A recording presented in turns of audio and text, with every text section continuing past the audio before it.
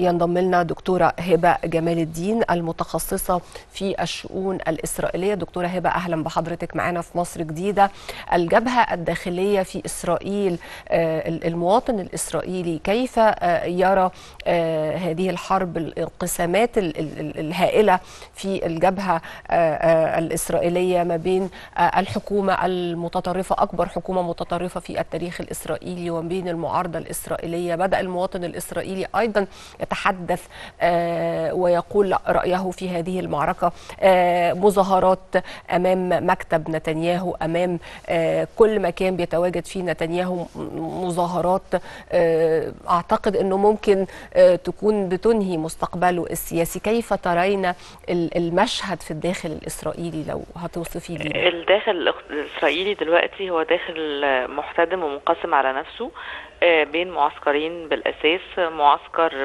بيمثله أهالي الاسرى والمخطوفين وبعض يعني القوى الرافضة لاستمرار العنف في غزة.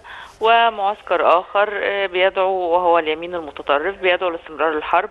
والقاده العسكريين برضو في هذا المعسكر شايفين إن رجوع الاسرى هيحصل عن طريق الإفراط في استخدام القوة وإبادة الشعب الفلسطيني. وإحنا شفنا طبعا تصريح وزير التراث اليهودي المتطرف.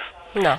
لكن النقطة الأساسية دلوقتي إن في مطالبات زي ما حضرتك قلتي بدأت تتكلم بضرورة الإطاحة بنتنياهو وبدأوا يتكلموا إن هو سبب هيبقى سبب دمار إسرائيل وإن هم بدأت يعني بعض الآراء تتكلم عن إشكالية العقد الثامن في إسرائيل وإن إسرائيل بتعمله نتنياهو هيخلينا نقترب إلى نهاية إسرائيل وبدأت الآراء اللي كانت بتتكلم قبل كده عن قدرة أي دولة غريبة في هذه المنطقة على الاستمرار أكثر من 100 سنة فيعني بدأ الحديث يعني يثور بقوة حول مستقبل الحكومة الإسرائيلية والإفراط وخصوصا إن هم عندهم دلوقتي إشكالية كبيرة في 200 ألف مستوطن اللي كانوا في غلاف غزة وبعض المستوطنات الموجودة في حدود مع لبنان وسوريا تم إخلاءها بنسبة كبيرة ال 200 ألف مستوطن هم عبء على الاقتصاد الإسرائيلي. الحكومة الإسرائيلية مع عدم في فنادق بتصرف عليهم إلى متى يمكن الاقتصاد الإسرائيلي المنهار في إطار قبل غزة وبعد حرب غزة هيتحمل قد ده ده لمدة قد إيه. نعم. نقطة ثانية مهمة جدا لازم نبقى عارفين إن أيضا هناك من بدأ يتحدث أن من ما يقوم به نتنياهو الآن هو محاولة لحماية نفسه بسبب قضايا الفساد وهو وإن الحديث عن إقالته يعني أمر غير وارد بالنسبة له هو شخصيا لأن ده هي يعني هيعجل بمصيره في السجن. هيتحاكم على طول. طبعا. ثاني يوم يعني. ده أكيد. وغير إن طبعا يعني البعض خايف من فكرة رفع قضايا في لاهاي والمحكمة الجنائية الدولية بمحاربة نتنياهو والقادة العسكريين في إسرائيل كمجرمي حرب.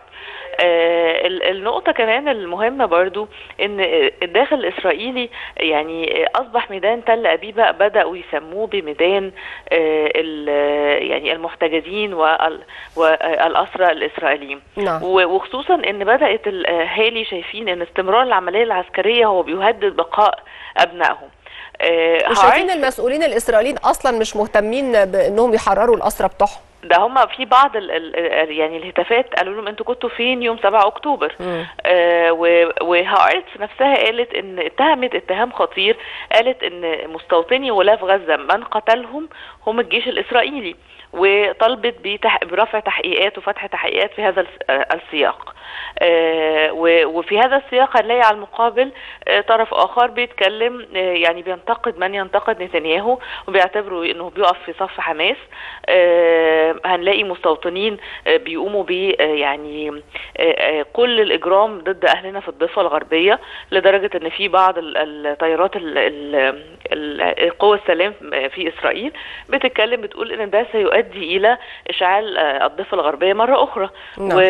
وده هي هي هي يعني هيثير الرأي العام العالمي وخصوصا إن الضفة ما فيهاش حماس.